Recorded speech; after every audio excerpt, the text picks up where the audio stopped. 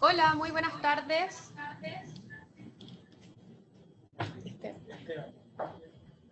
Vamos a comenzar una nueva jornada de capacitaciones. Queremos agradecerles por su entusiasmo y convocatoria, como todos los días, por estar conectados en estas jornadas que organiza la SOCIMI en conjunto con el Ministerio de Salud a través del Hospital Digital. Hoy día tenemos al doctor Rodrigo Cornejo, quien es médico intensivista, profesor de la Universidad de Chile y además jefe de la unidad de paciente crítico del Hospital Clínico de la Universidad de Chile, y nos va a presentar el tema fundamento y manejo de la posición. Además, les contamos que el doctor está de cumpleaños, así que está haciendo sus labores, incluso desde acá, ayudándonos en las capacitaciones, así que agradecemos enormemente la, tenerlo acá hoy en día con nosotros para formar a la mayoría de los profesionales de la salud que se está conectando a través de esta jornada. Así que lo dejamos.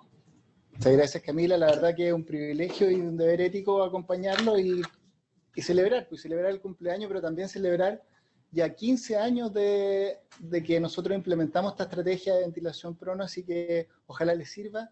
Eh, he notado mucho la adrenalina que existe y también las ganas y el compromiso por salir adelante entre todos. Así que Vamos con ello.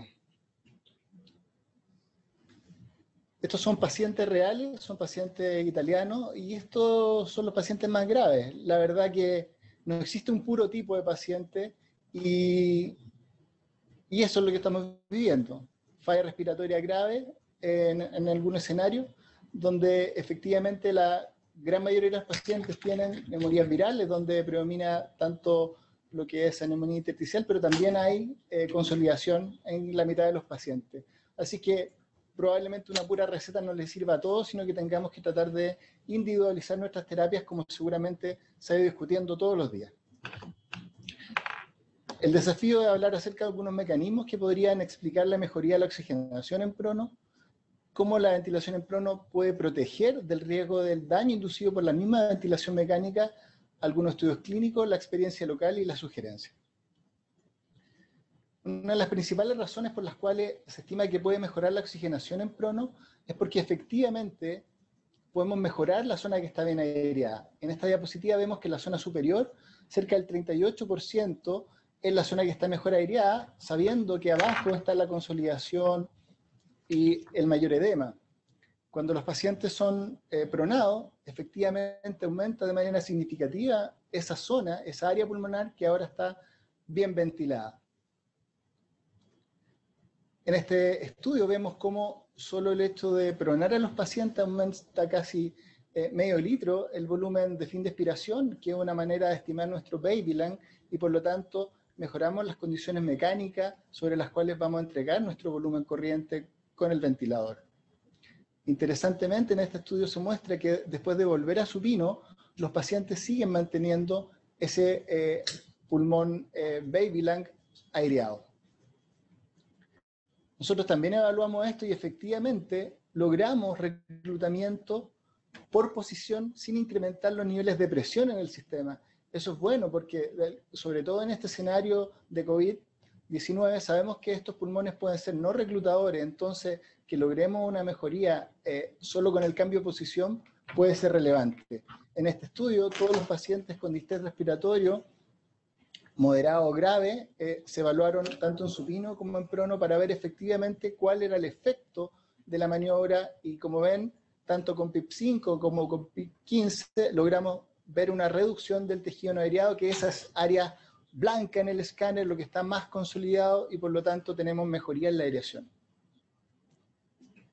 En este mismo estudio hay dos puntos que quiero recalcar. Uno, que ese volumen de tejido no aireado, el tejido que se ve blanco en el escáner, que está consolidado, que logra aireación, se ve que efectivamente, tanto de pasar de supino 5 a prono 5, hay una reducción significativa, es decir, hay efectivamente reclutamiento, pero otra cosa muy importante y creo particularmente interesante de ver en el escenario que estamos enfrentando de COVID-19 es que estos pacientes, al mismo nivel de presión, sobre todo con alto PIB, hay una reducción del tejido sobreinflado o hiperinflado. Es decir, con alto PIB se incrementa siempre el volumen hiperinflado, pero ese incremento del volumen hiperinflado inducido por el PIB, por el PIB alto, por ejemplo, se ve reducido en prono.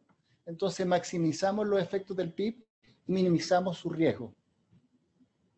Ahora, es un tema discutible y lo que proponemos nosotros es fundamentalmente esto, aquellos pacientes donde predominan las imágenes en las partes inferiores del tórax, en las zonas dorsales, dependientes, son los que probablemente más van a beneficiarse del prono, más van a reclutar, van a reducir ese tejido que ustedes ven ahí en el escáner en blanco y se van a airear. Cosa que es distinta, perdón, cuando eh, la mayoría de las imágenes están hacia la zona cercana al esternón. Ahí probablemente incluso puede aumentar el tejido aireado, es decir, desreclutamiento. Y cuando tenemos ya un distrés muy difuso, compromiso bilateral extenso, prácticamente da lo mismo en términos de tejido aireado si estamos en supino o en prono. Así que nuestros pacientes COVID-19 es probable que se comporten como el paciente A y B de este ejemplo. Uno de los puntos que explica por qué el solo hecho de cambiar de supino a prono mejoran dos tercios de los pacientes la oxigenación es porque mejora la perfusión. Perdón, mejora la relación ventilación-perfusión en los pacientes. Efectivamente vemos en este, en este estudio, que estudio que hace evaluación con PET-CT en conejo, vemos cómo en supino el chant, que es la relación ventilación-perfusión en la tercera línea, en negro se ve cuando está muy alterada esa relación. ¿Por qué? Porque en las zonas dependientes o dorsales tenemos precisamente la mejor perfusión, pero hay muy mala ventilación. Como ven a su derecha, los mismos conejos, pero ahora en prono, se hace mucho más homogénea tanto la perfusión como la ventilación y se reduce el chant. ¿Y por qué pasa esto? Esto es antiguo y tiene que ver con que la cantidad de flujo, el porcentaje de flujo, siempre es mejor en la zona dorsal, cerca de la columna, independiente de que estemos en supino o en prono. Si se fijan, sea la zona dependiente en supino o sea la zona no dependiente en prono, el porcentaje de flujo que recibe la zona dorsal es la mejor. Por lo tanto, si pronamos a los pacientes, mejoramos su ventilación, pero a la vez mantenemos una buena perfusión de esa misma zona y por lo tanto la relación ventilación-perfusión mejora. Y esta es la verdadera razón de por qué la gran mayoría de los pacientes, cuando se pronan, mejoran su oxigenación. Y esto tiene una razón ontológica y anatómica, tiene que ver con que la densidad capilar es mucho mayor en las zonas dorsales, como ven acá, y por lo tanto hay más flujo también en esa zona. Ahora, ¿por qué la ventilación en prono podría atenuar el bili, es decir, disminuir o proteger el riesgo de mantener a los pacientes en ventilación mecánica? Este es un estudio antiguo de Brocar en perros que quiero que se fijen especialmente en supino, las zonas dorsales dependientes, un edema hemorrágico franco ahí en la letra C, en supino, y si se fijan en el, score histológico hay mucho más daño en supino, en las zonas dependientes, que son las expuestas a la mayor injuria, cosa que se reduce de manera significativa cuando estos perritos con ventilación injuriosa están en prono. Es decir, hay evidencia experimental de que efectivamente esta estrategia, que es simple si la llevamos a cabo en un grupo, si nos capacitamos, logra reducir ese daño inducido por la ventilación mecánica. Ahora, ¿qué sabemos sobre lo que puede hacer el prono sobre la heterogeneidad? Si se fijan, esta enfermedad es muy heterogénea y también el prono puede eh, tener un efecto sobre los fenómenos cíclicos. Veremos de qué estoy hablando. La principal razón por, por, por cuál el la ventilación en prono puede tener un impacto positivo en términos de homogeneidad, tiene que ver con que la gradiente de presión pleural es mucho menor en prono respecto al supino.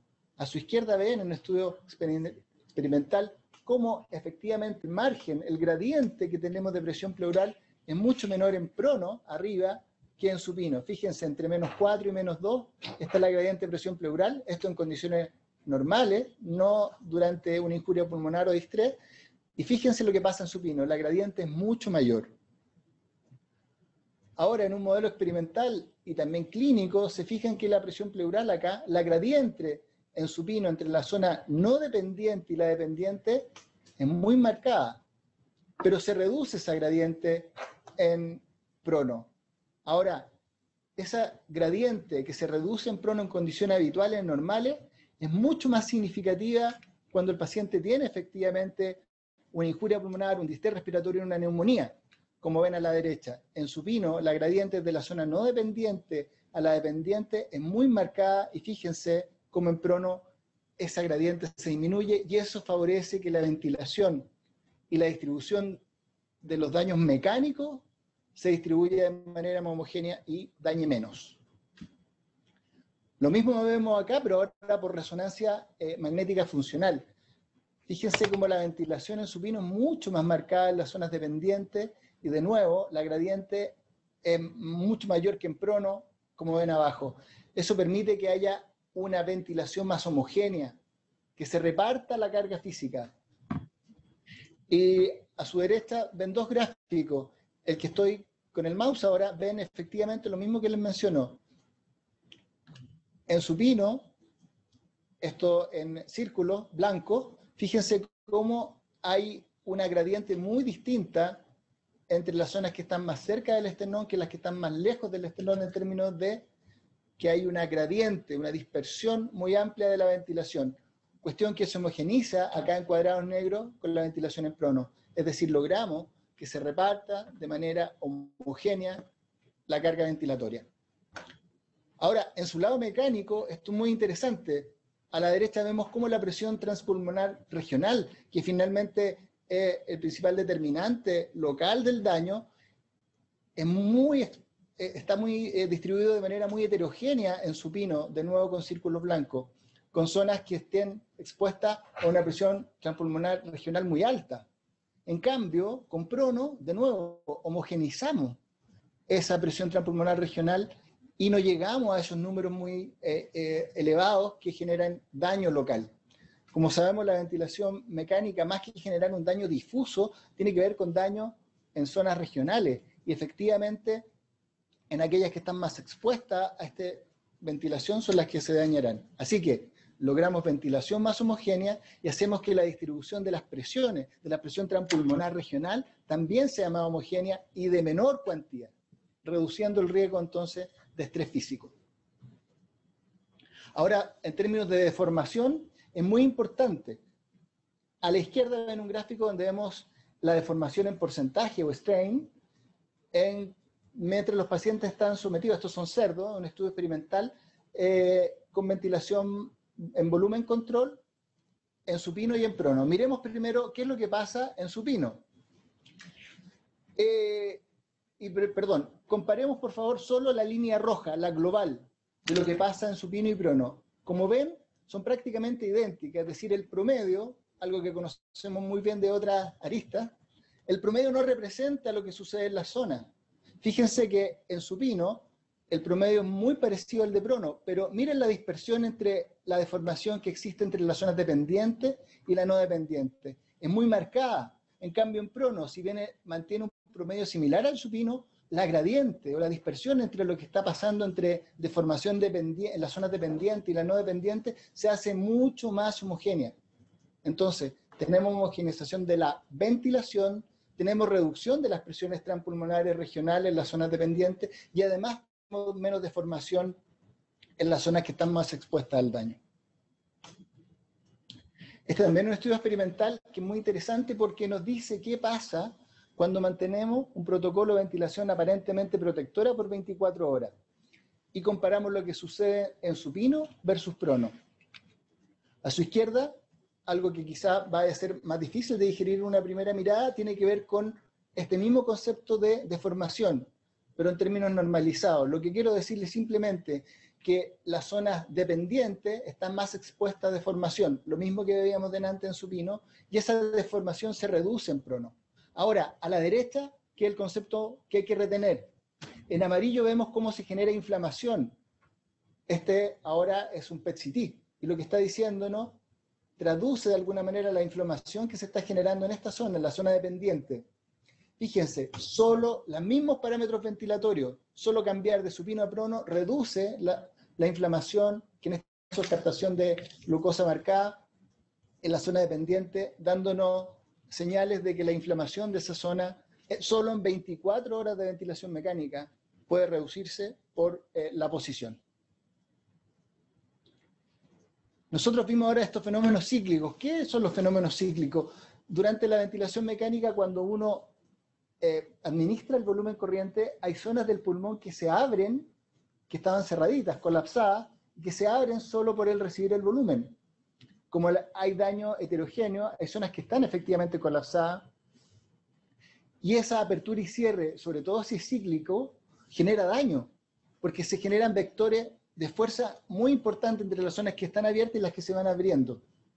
Ahora, lo que vemos en esta población global es que efectivamente el prono con PIB más alto logra reducir ese reclutamiento de reclutamiento en términos porcentuales, es decir, las unidades que están sometidas a apertura y cierre en cada ciclo respiratorio se reducen. Y eso se reduce fundamentalmente a expensas de aquellos que tienen efectivamente más posibilidad de reclutar unidades. Cuando yo no tengo que reclutar, el efecto es mínimo, pero si tengo a un tejido mayor, más unidades inestables, más unidades que están colapsadas y que se abren en inspiración y se cierran en expiración, el prono, sobre todo cuando uno utiliza esta estrategia combinada de prono un poco de PIB más alto, se reduce de manera significativa ese fenómeno cíclico. Cosa que, evidentemente, si tengo menos tejido inestable, menos colapso, se hace mucho menos importante. La otra mirada que creo que, de nuevo, recalco, es muy importante para los pacientes COVID-19, tiene que ver con esta hiperinflación inspiratoria, es decir, hay unidades que llegan a sobreextenderse, hiperinflarse al final de la inspiración, y esas generan daño.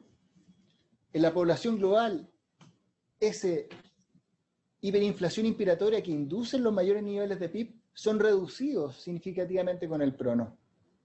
Y esto es más importante aún porque eso es independiente de si el paciente tiene un mayor potencial de reclutamiento o menor potencial de reclutamiento. Si tengo más unidades inestables o no las tengo. Es decir, si estoy, por ejemplo, poniendo un pipa alto o bajo, siempre voy a estar protegiendo a mi paciente más de esta hiperinsuflación inspiratoria en cada ciclo respiratorio, teniendo al paciente en decúbito prono. Acá ven el efecto. Fíjense en el escáner, esto es un CINE-CT, en una parte del tórax, fíjense cómo con prono, al mismo nivel de presión, tenemos más pulmón aireado, está más negrito el pulmón. Y por otro lado, tenemos menos fenómenos cíclicos. Fíjense que hay unidades que se abren y por lo tanto se ponen negritas en inspiración, que se cierran en expiración. Eso es lo que es el reclutamiento de reclutamiento cíclico.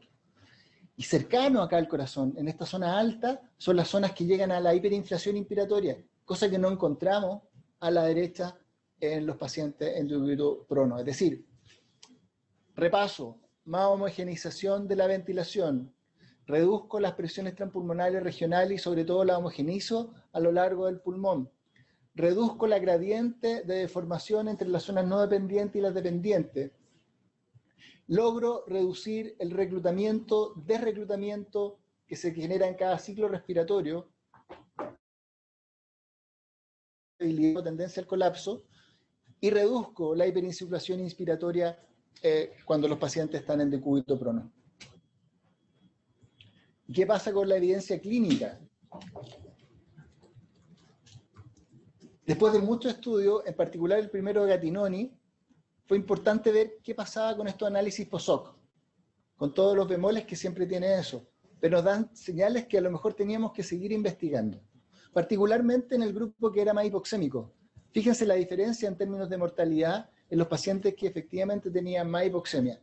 Ahí el impacto de la posición prono era más significativa. Nosotros, como les decía, cumplimos 15 años haciendo esta maniobra y cuando nos demoramos como dos años en poder publicar este primer artículo, proponíamos efectivamente en aquellos pacientes que tenían distrés con PAFI bajo 100 o IOX más de 15 y no tenían contraindicaciones, efectivamente pronarlo y mantener al menos dos o tres días al paciente en ventilación en prono hasta que las condiciones mecánicas podían ser mejoradas. Este fue un estudio de factibilidad y por lo menos vimos que era una maniobra segura. Ya después con H1N1 tuvimos la oportunidad de una aplicación sistemática de muchas cosas que habló ayer Alejandro, y otras que estoy hablando hoy respecto de cómo estandarizar el manejo y llegar en los casos más graves a la ventilación en prono. Y efectivamente que hay una casuística de casi 50 pacientes, de los cuales la mitad eh, estuvieron en ventilación mecánica y 12 de ellos en prono. Y como ven, la relación PO2-FIO2, que una muy conocida para todos nosotros. Fíjense, los pacientes tenían antes del prono 80 de PAFI, eso es muy bajo.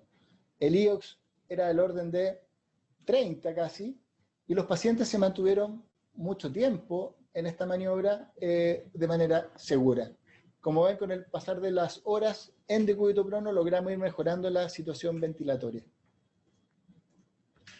Ahora a esta altura, en ese mismo periodo, después de metaanálisis vimos que efectivamente había un subgrupo que lograba evidenciar que su desenlace mayor, que la mortalidad se, se veía beneficiada con el prono. No así cuando la oxigenación era mejor, es decir, si logramos identificar mejor los pacientes, podíamos eventualmente impactar su desenlace. Y claro, cuando veíamos los eventos adversos, en este metaanálisis veíamos que efectivamente había más riesgo de úlceras por presión en la zona no habituada en nuestra UCI estar porque están eh, boca abajo, y también estaba el riesgo de obstrucción del de, tubo orotraqueal con la maniobra, pero sin desplazamiento o pérdida de la vía aérea. Esto lo revisaremos, eh, eh, ustedes lo pueden en el video, pero también en el checklist de cómo poder reducir estos riesgos, y ahí tanto la mirada desde enfermería como de kinesiología son fundamentales antes, durante y después de la maniobra de pronación. Así que tendrán disponible, ya han visto el video y están eh, por subirse las guías. Arriba ven que si, bien hay más eh, efecto adverso en términos de úlceras por presión, hay una reducción o está al límite la significancia el riesgo de neumonía social que es un gran temor cuando están los pacientes ventilados por largo tiempo. Y claro, porque el clima de secreciones mejora mucho cuando están boca abajo. Y llegó por fin este estudio que esperábamos, que era un estudio bien diseñado, que enfocaba al paciente en la etapa precoz, menos 72 horas en ventilación, muchos pacientes, relación PO2-FIO2 más baja, es decir, efectivamente el grupo de más riesgo, y para los franceses tener un PIB más de 5 y FIO2 más de 60% con relación PO2-FIO2 bajo 150 eran los pacientes que podían entrar al estudio.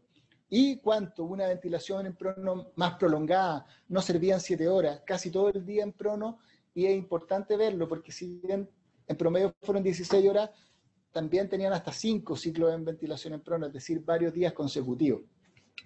Y como ven a su derecha en el gráfico, efectivamente un impacto significativo en términos de sobrevida. Fíjense la diferencia marcada de cómo la ventilación en prono eh, mejoró este desenlace.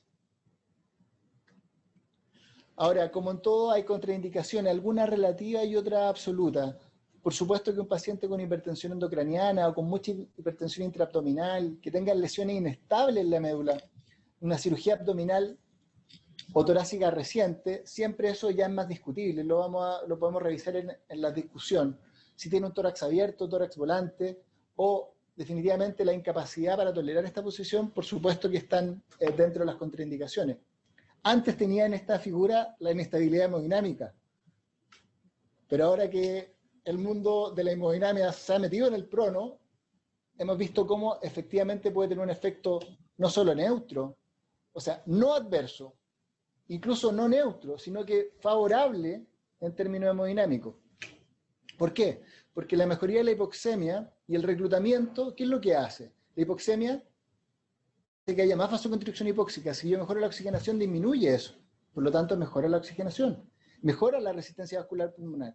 Por otro lado, si hay reclutamiento, desplazamos esta famosa curva que conocemos de NU entre lo que es resistencia vascular pulmonar y aireación. ¿Por qué? Porque mejora la, el reclutamiento mejora la unidad alveolar abierta. Y por supuesto que si disminuye la resistencia vascular pulmonar, disminuimos la coscarga del ventrículo derecho que estos pacientes pueden estar expuestos, sobre todo si se están usando mayores niveles de PIB, que en este gráfico no aparece. Y otra, adicionalmente, si logramos reclutar y barrer más CO2, la hipercarbia que se deriva de esa estrategia también se ve reducida con el prono, es decir, tenemos una estrategia muy protectora del BD en términos de poscarga. Por otro lado, si efectivamente los pacientes aumentan algo la hipertensión intraabdominal, mejora el retorno venoso y eso también puede hacer reclutar capilares pulmonares y también llevar a una reducción de la resistencia vascular pulmonar y también mejorar la precarga del ventrículo derecho. Y con eso, secundariamente, mejorar la precarga del ventrículo izquierdo. Y si tenemos una situación de precaria conservada, tenemos que ver, ¿está conservada o no? Si no lo está, la verdad que no cambia el gasto cardíaco, pero seguimos protegiendo el ventrículo derecho. En cambio, si está preservada la precarga, entonces ahí mejoramos incluso el gasto cardíaco global. Pacientes que están inestables, que están sufriendo su ventrículo derecho, lo protegemos y eventualmente podemos mejorar su condición sistémica en términos de ventrículo izquierdo si tenemos reserva precaria. Una nota adicional es que incluso ahora, hace poco, hay grupos que han eh, implementado esta estrategia incluso antes de la ventilación mecánica conectado a un respirador e intubado. Fíjense en este trabajo chino, una experiencia reciente con COVID-19, con todo este eh, argumento fisiopatológico, los pacientes son evaluados en un triage inicial y se les hace un desafío haciendo ventilación en decúbito prono. Esta no es la única vez que se publican eh, alternativas de ventilación en prono con eh, con internidad de la vía aérea, o sea, no, no intubado, sino que también hay estudios con cánula nasal y ventilación no invasiva. Así que eso hay que tenerlo presente, no es el objetivo primario de la presentación, pero para que veamos que el efecto empieza a expandirse en otro escenario. Yo por ahora no le sugeriría esto, uh, pero sí todo lo anterior. Entonces, para recapitular y ir resumiendo, el intercambio gaseoso mejora en prono si tenemos una masa de pulmón no dependiente que aumenta, es decir, si hay reclutamiento, si tenemos más tejido aireado, si hay una distribución más homogénea de la inflación o la ventilación, como efectivamente vimos, por ejemplo, con resonancia magnética funcional y otra. Y sobre todo esto, si mejora la ventilación de zonas que mantienen buena perfusión, que son las zonas dorsales o dependientes, porque ahí se reduce este mismatch entre ventilación y perfusión, o sea, se reduce el chant. En comparación con el supino puede efectivamente proteger el prono durante la ventilación mecánica porque se reduce o se hace más homogénea la distribución de las presiones transpulmonar y por lo tanto se reduce el estrés regional y también esta deformación, el strain regional en los pacientes con distrés respiratoria o neumonía grave por COVID. También es importante considerar que si logramos reclutamiento sin generar mayor sobredistensión a un mismo nivel de PIB, estamos ganando porque la distribución del volumen va a ser una mayor superficie, por lo tanto el daño mecánico siempre va a ser menor. Y efectivamente, esta ventilación en prono puede además favorecer estos fenómenos cíclicos, tanto esta apertura y cierre cíclico en cada ciclo respiratorio, como esas otras unidades que están sometidas a sobredistensión durante cada inspiración. Desde una perspectiva clínica, entonces, es un procedimiento factible, seguro y de bajo costo, lo podemos implementar de Arica Punta Arena, hay que capacitarse como lo están haciendo ahora. Es fundamental entrenarse porque eso reduce el riesgo, hay que simular, hay que ver, algunos de ustedes partir con modelos de ustedes mismos, darse para ver efectivamente cuáles son los códigos de botella, dónde están las dificultades. Pueden hacerlo al lado del video que van a tener disponible y con el checklist, de manera de ir revisando punto por punto antes de que les toque el primer paciente las complicaciones son claramente menores y rápidamente reversibles, y si bien aumenta algo la incidencia de úlceras por presión y la obstrucción del tubo traqueal, no pierden la vía aérea y eventualmente reducen el riesgo de neumonía asociada a la ventilación mecánica, que es muy importante porque estos pacientes en promedio están durando dos o tres semanas. Por ahora aquí dice PAFI 100, pero en realidad 150, particularmente en este escenario. Con estos 15 años de ventilación en prono, sobre todo extendida, las sugerencias son estas. ¿A quiénes lo hacemos? A los pacientes que tienen PAFI bajo 150, distrés o neumonía grave. ¿Cuándo? En la fase precoz, es decir, ojalá las primeras 72 horas de ventilación mecánica tenemos mejor chance de que los beneficios sobrepasen los potenciales riesgos. ¿Cuánto? Este es un tema de discutir. Para el estudio de Gran, el francés eran casi 20 horas al día nosotros sugerimos, dado toda la logística que significa la pronación y la vuelta a supino, prolongar esto, porque sabemos que estos pacientes van a estar harto tiempo en ventilación mecánica. Cada vez que damos vuelta al paciente, sea para pronarlo o volverlo a supino, hay riesgo adicional de retiro incidental de catéteres, de retiro incidental del duro traqueal, de perder ah, alguna infusión importante. Así que consideremos la extensión. Y finalmente, esto de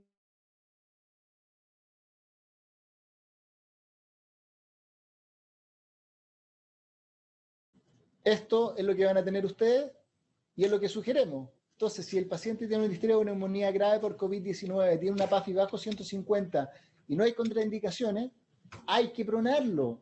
Hay que pronarlo, mantener la ventilación protectora, mantener el bloqueo neuromuscular y ajuste del PIB. Ojalá el mínimo necesario.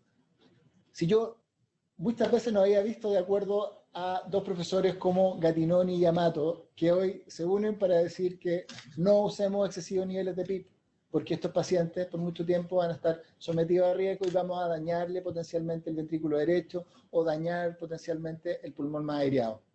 Ahora, aclaración, probablemente un nivel de PIB alto para el profesor Gatinoni distinto de para el profesor Amato. Eh, la sugerencia, como lo van a ver en el checklist, es cambio de posición cada dos horas. No se nos pueden escalar estos pacientes, cada dos o tres horas máximo. ¿Y por cuánto tiempo la ventilación en prono? Dos o tres días consecutivos. Ese es el acuerdo, incluso preacuerdo con doctor Brun. Así que creo que podemos confiar en esa sugerencia. Y si retornan al paciente supino, ojo, igual número de operadores, el video es bien ejemplificador, 5, al menos 5, dos por lado más el que está a cargo del tubo traqueal. Tener los mismos cuidados de cuando van a pronar que cuando van a volver a supino, porque los riesgos son idénticos. Y mantener en supino de nuevo, ventilación protectora, efectivamente volver a ver el nivel de PIB, medir la vía por si el paciente, eh, cómo está, y reevaluar la mecánica del paciente. Muchas gracias y vamos que se puede. Perfecto. Vamos a hacer la ronda de preguntas. Vamos a acercar con Carlos para poder ya. ¿Se entendió? Sí. sí. Perfecto.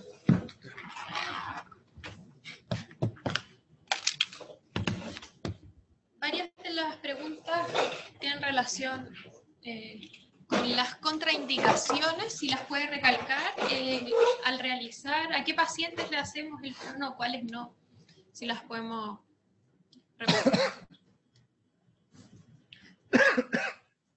Bueno,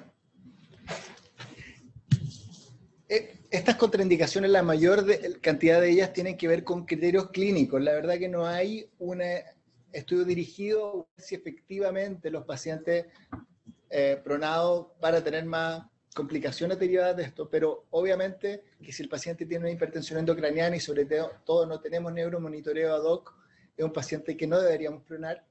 Nosotros tenemos publicado un par de pacientes donde con multimonitoreo neurológico han logrado estar eh, seguros con prono, pero uno tiene que estar muy encima y tiene que estar con, mucha tecnología adicional y no parece ser un buen escenario, menos en contexto de una pandemia donde probablemente vamos a tener una demanda asistencial enorme. Así que para este, en particular, para este escenario, no pronar a ningún paciente con hipertensión endocraniana. La hipertensión intraabdominal también es un tema que es relativo en términos de que si tenemos buen monitoreo de la PIA, de la presión intraabdominal, podemos efectivamente ver qué pasa con estos pacientes. Todos los pacientes pueden subir un poco. Nosotros hemos medido de manera sistemática, les puedo decir que entre 2 y 5 milímetros mercurio en promedio, pero eso no necesariamente significa impacto en perfusión de órgano o en conflicto y que lleguemos a un compartimental del abdomen. Pero tenemos que estar de nuevo encima, es decir, sobre todo si el paciente tuvo una cirugía reciente, si hay una pancreatitis, si hay hipertensión abdominal, difícil control, ese paciente no se puede pronar. Pero si estamos en otra condición, bueno, podemos evaluarlo y efectivamente, si hay buen monitoreo, salir adelante. En, eh, no hay duda que lesión inestable de la médula de ninguna manera pronar y y cirugía abdominal o torácica reciente son eh, tanto eh, cosas que se pueden discutir en el caso a caso. El shock no debería ser una contraindicación. Nosotros en, nuestra historia de 15 años prono hemos puesto eh, evaluación de transesofágica de la función ventricular, catéter de arteria pulmonar instalado en posición prono y etcétera. Y la verdad que sistemáticamente hemos encontrado que los pacientes no se perjudican con el prono y al revés, como Tebull y otros estudios franceses muestran eh, la gran mayoría se puede beneficiar. Antoine Villarbarón antes con estudio sistemático de ecografía transesofágica mostraba los mismos resultados. Así que seguridad de la hemodinamia, por supuesto que eso no significa que si perdemos la línea que lleva la noripinefrina, perdemos el paciente. Entonces, mucha seguridad, de eh, enfermería sabe muy bien esto, yo perdónenme que lo insista, pero eh, poner refuerzo en todas las líneas venosas centrales o en la monitorización de la línea arterial para efectivamente que sea una maniobra eh, de bajo riesgo. Así que la sugerencia, ayer, simular y luego partir con los pacientes. Perfecto. Se preguntó bastante con respecto al menisco kinésico. Eh, ¿Se debe continuar con las KTRs en el crono? Eh, ¿Cuáles? Bueno, va a depender de cada paciente, me imagino, pero ¿cuál es la secuencia que se debe hacer esta, estas KTR? Eh, ¿Alguna contraindicación? Perfecto. Como, como he tratado de recalcar, y discúlpeme si no ha sido lo suficientemente enfático, esta es una estrategia de grupo. Aquí todos cumplimos un rol distinto, y todos son importantes y si queremos que no haya en esos riesgos de que se obstruya el tubo traqueal, por ejemplo, durante la maniobra, es fundamental una quinesioterapia respiratoria antes del prono. Luego, inmediatamente después de la maniobra, y una vez que el paciente empieza a hacer el clearing de secreciones, volver a hacer otra. Se mantienen y es seguro hacerla. Hay una discusión entre los expertos ahí y los kinesiólogos podemos eh, conversar con ellos respecto de hacia dónde se hacen las presiones del tórax. Independiente de eso, el efecto es que es posible, se tiene que repetir y hay que estar muy atento eh, para que ese tubo traqueal permanezca eh, con vía aérea permeable. Así que eso es clarísimo. Perfecto. Nos preguntan en lo más práctico, ¿cuántas horas iniciales quizás el prono y cuándo nos damos cuenta eh, que debemos supinar al paciente y por cuánto tiempo permitimos esa supinación en el fondo para saber que no estamos fallando y debemos volver al prono.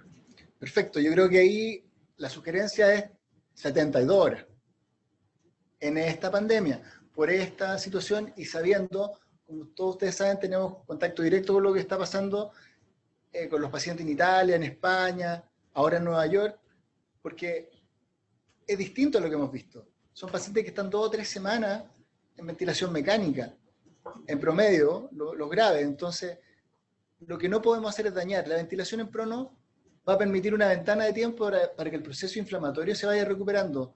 La maniobra en sí no es la que va a toda la etiopatogenia de la enfermedad, por supuesto. Nos da tiempo, nos da espacio, mientras en esa pelea que existe al interior del paciente eh, se va logrando estabilización. Entonces lo que no podemos hacer es dañar.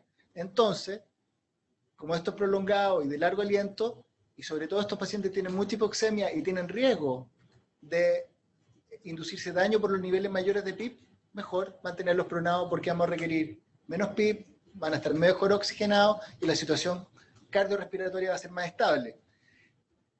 Ahí puede evaluarse y hacer un triage. ¿Por qué ponemos el IOX, que es el índice de oxigenación? porque de alguna manera nos dice cuál es el costo en términos de fracción inspirada de oxígeno y de presión media de la vía aérea para lograr un nivel de PO2.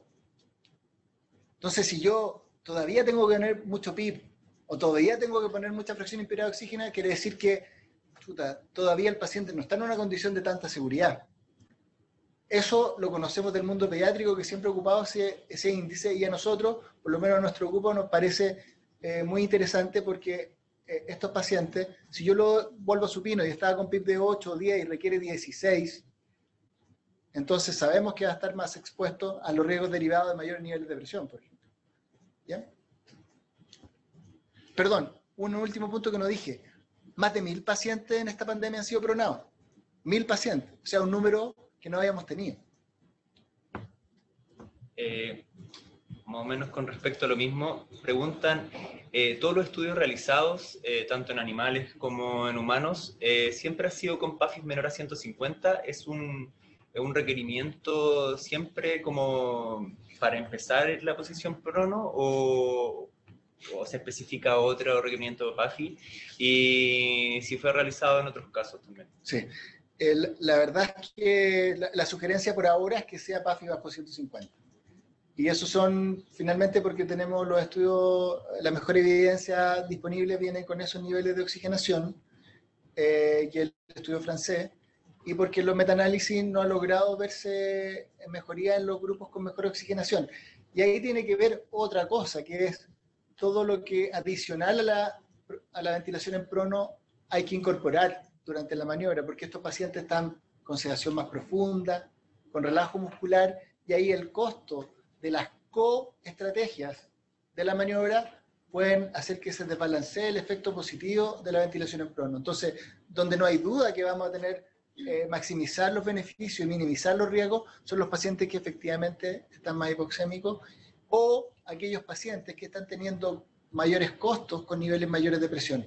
También podría significar que un paciente, para tener una PAFI mayor de 150, 170, por ejemplo, estoy con PIB de 18 permanente y ya estoy haciendo, eh, evidenciando que tiene riesgos, también es una estrategia, eh, digamos, una indicación alternativa de la ventilación en prono. Lo mismo si tengo disfunción de ventrículo derecho. Hay pacientes que debutan y llegan al servicio de urgencia con disfunción de ventrículo derecho. Esos pacientes sabemos que para poderlos rescatar de la hipoxemia va a ser más difícil y eso le podríamos hacer un desafío o una evaluación con ventilación en prono de entrada. Salvo esas dos excepciones, riesgo del PIB más alto, disfunción de ventrículo derecho por col pulmonales agudo, deberíamos quedarnos con una PAFI del orden de 150 o menos como una vía de acceso a la ventilación en prono. Doctor, la verdad es que hay varias preguntas que quizás tienen relación con el tema más eh, puntual de la técnica en sí, que, eh, estamos haciéndole sugerencias a la SOTIMI que podamos incorporar una clase de los cuidados más de enfermería que requiere esta técnica. Sin embargo, si nos puede ayudar con algunas, como por ejemplo, el número de personas necesario recomendable para realizar la maniobra, los cambios de posición, si deben hacerse o no, eh, y lo otro es, básicamente respecto a lo mismo, el manejo, por ejemplo, de la monitorización de los pacientes, y, en eso hay muchas preguntas con respecto a la técnica, por ejemplo, de RCP en un paciente pronado. Perfecto.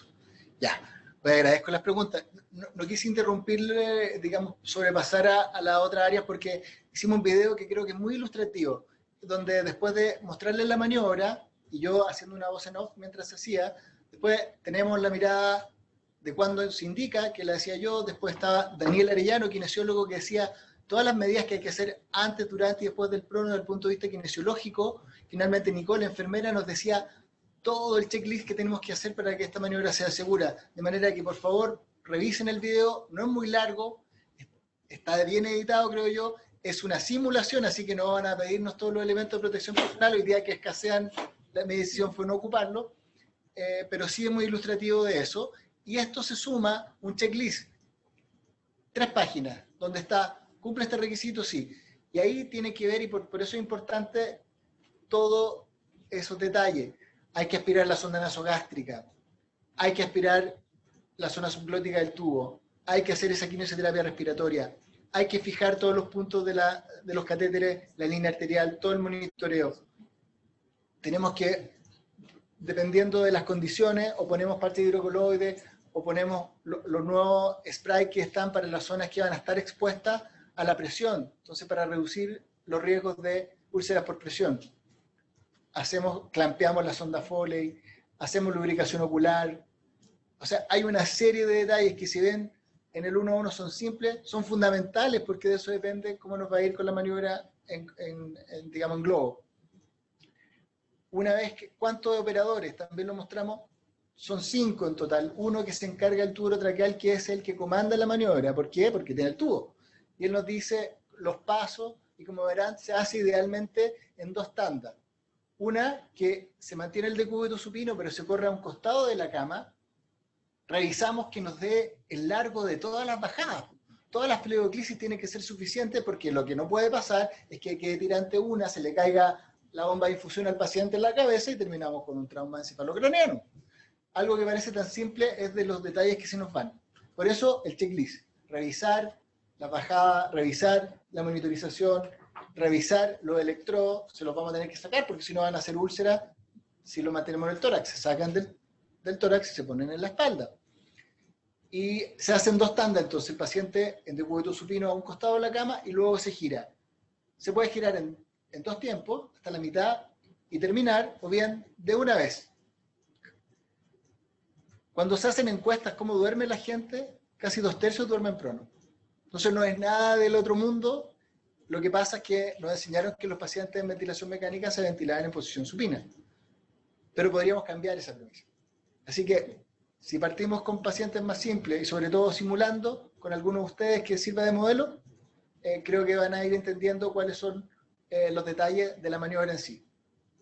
Eh, disculpen, me he sido muy técnico con las otras cosas, pero es importante saber desde dónde nace esto que vamos a hacer, porque demanda, por supuesto, cierto estrés y hay que convocar gente. Entonces, sepamos que lo estamos haciendo porque el beneficio para nuestro paciente es importante.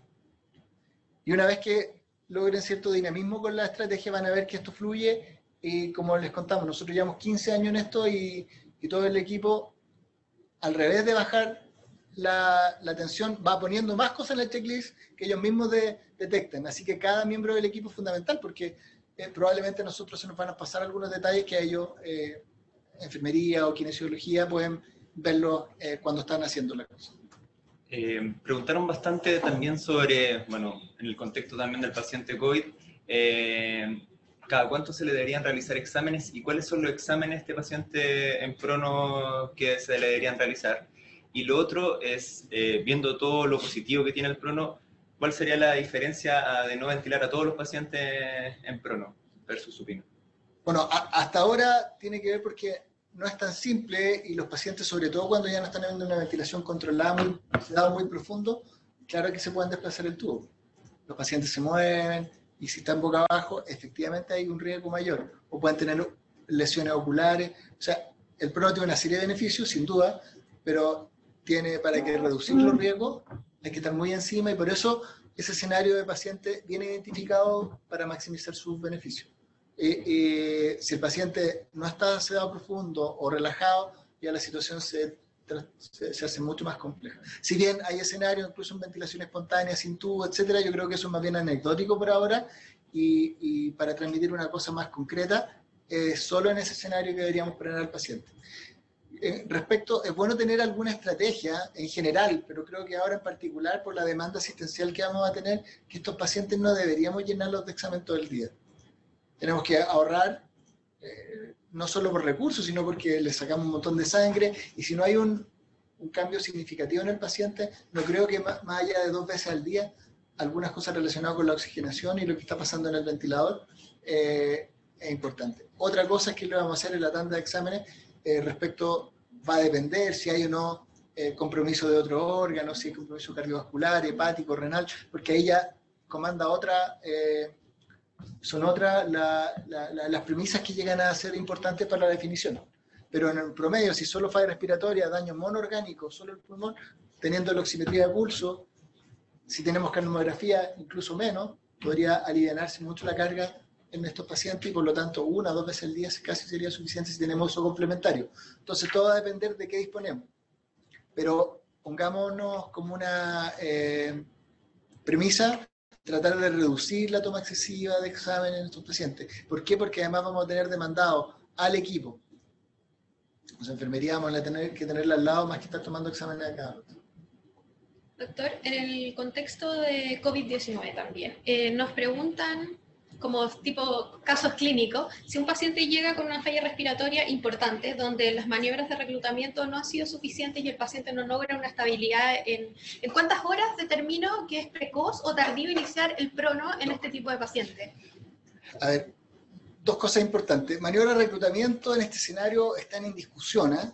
eh quizá una mini maniobra de reclutamiento sugería Marcelo Amato hace poco en una, en una presentación que hace a Brasil, porque Brasil, ustedes verán cómo van esos números, eh, y entonces a lo mejor no hacer maniobra de reclutamiento y a lo mejor partir de 20 y hacerlo decremental igual que como lo hacía antes.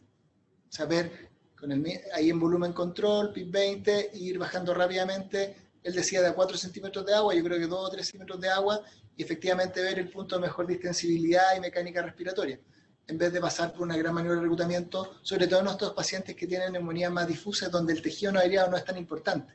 Claro, si nosotros vemos que hay reducción del volumen pulmonar aereado, que hay harto tejido blanquito en el escáner, o sea, que potencialmente ya hay tejido pulmonar que sea reclutable, ese otro escenario probablemente algunos de nuestros pacientes también van a cumplir ese criterio, pero en globo, en promedio, si la neumonía es difusa, no hay mucho tejido no aireado, no hay tanto colapso, mejor no pasar por esa gran maniobra de reclutamiento, hacer una, mini titulación del PIB decremental y ahí titular el PIB. Luego, si ese paciente en particular no, vemos que tiene beneficio, tenemos que ver la logística interna. Tenemos capacidad instalada en el servicio de urgencia.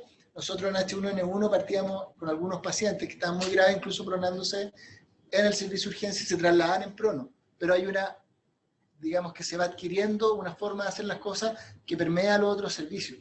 Entonces, eh, y por lo tanto se explica que nosotros vayamos escáner en prono, que vayamos a pabellón en prono, que se tomen biopsias, porque hay otra cosa, ya hay, hay camino recorrido. Yo creo que ahora, si no lo hemos hecho antes, mejor llevarlo a un lugar que sea más seguro. Es lo mismo que dice el anestesista cuando va a someter al paciente al pabellón. Tráiganmelo acá, voy a tener las mejores condiciones para poder hacer algunas cosas. Nosotros creemos que al comienzo es mejor así.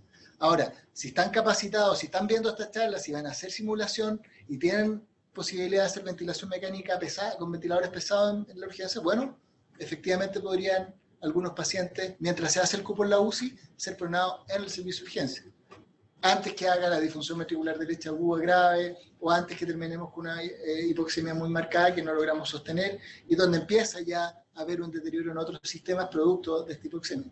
Recordar que los niveles de deben estar ojalá más de 90% y menos de 98% en saturometría. Menos de 90 riesgo incluso isquemia intestinal, por ahí New England si revisamos, y cuando tenemos hiperoxia también generamos más daño, probablemente por esteroxidativo, si bien hay un artículo reciente que lo discute, creo que nosotros deberíamos utilizar la menos cantidad de oxígeno posible para saturar, ojalá entre 92 y 95%.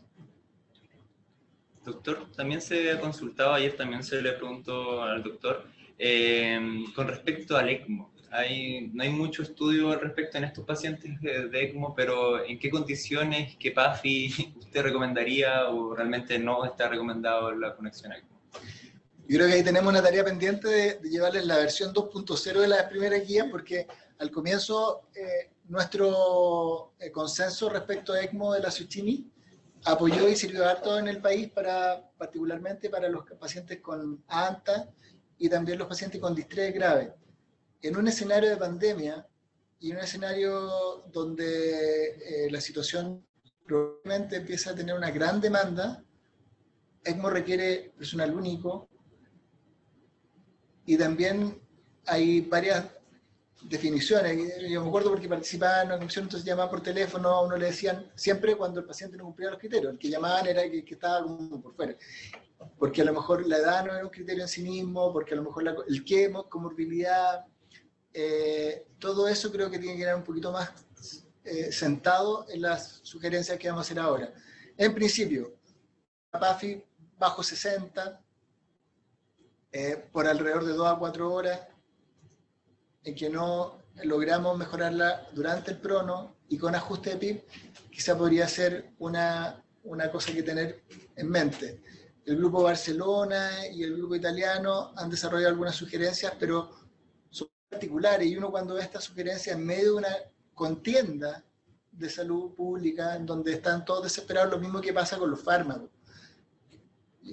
Uno ve que tenemos poca evidencia o de buena calidad de evidencia para algunos tratamientos, pero uno se pone en el lugar de quienes han tomado esa decisión y son otros los determinantes. Ahí muchas veces no tenemos espacio. Nosotros sí podemos discutir si no, nos parece bien o mal, pero si tuviéramos mil pacientes ventilados, creo que es otra cosa. Uno tiene que ser en ese sentido empático y asertivo, cosa que nos cuesta. Así que no hemos podido capacitar, hemos, tenemos un montón de literatura, hemos tenido el acceso muy generoso de muchos de los colegas a ver el tipo de gravedad, de presentación, entonces tenemos mejores herramientas para enfrentar esto. Así que creo que esa es la sugerencia, ser cauto y utilizarlo en estos escenarios. Perfecto. Para ir cerrando, ¿cuándo consideraría supinar al paciente y en cuánto tiempo esperar el deterioro o el éxito de la, de la terapia finalmente? Sí, nosotros lo que hacemos habitualmente a las dos horas del paciente vuelto a supino, ver todo lo que es mecánica respiratoria, ver qué nivel de PIB tiene y qué niveles de índice de oxigenación tiene. Eh, si en esas dos horas el paciente efectivamente pierde mucho y de oxigenación y el costo de mantener la oxigenación es subir mucho el nivel de, de PIB, por ejemplo, y o bien empiezan a deteriorarse los parámetros de seguridad en términos de presión de distensión o driving pressure, o aumenta la presión plató o meseta, entonces ahí yo creo que es un warning decirnos mejor volver a prono y mantenemos al paciente en prono.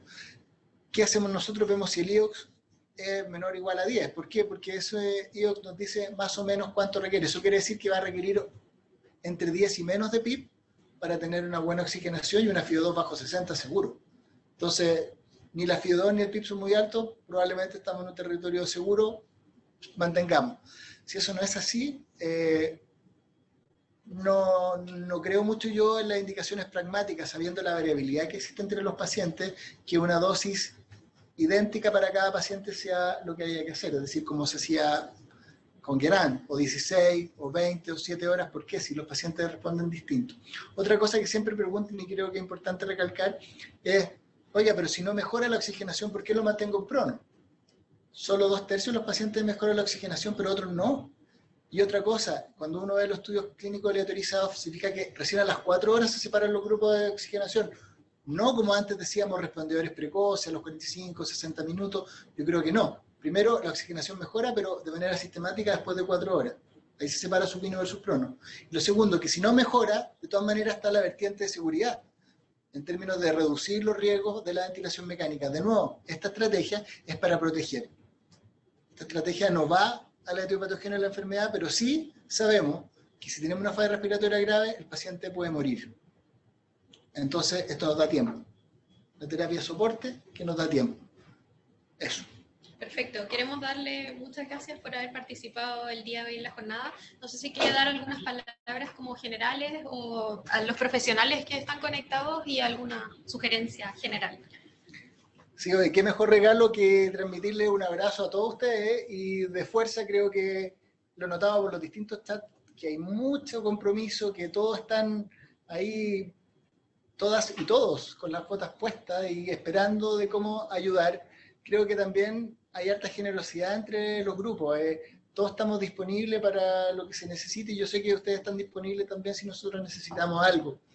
Eh, creo que también eh, felicitar la iniciativa de apoyo desde la SOSTIMI y, la oportunidad que da el MinSal de poder llegar a ustedes, porque efectivamente esto lo hemos ido pensando y estamos, al igual que todos, preocupados, pero con este tipo de herramientas, algunas más simples que otras, podemos ayudar e impactar en nuestros pacientes, que es lo que le importa a todos ustedes. Así que un abrazo y que nos vaya lo mejor posible.